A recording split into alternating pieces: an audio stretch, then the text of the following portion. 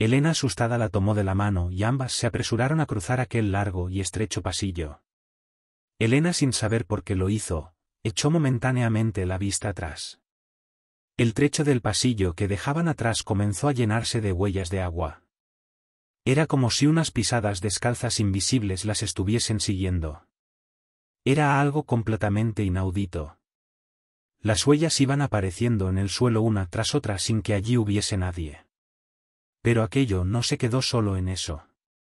Pues las luces volvieron a tintinear de forma más agresiva y al fondo del pasillo la pesada puerta de la cámara frigorífica se estaba cerrando sola.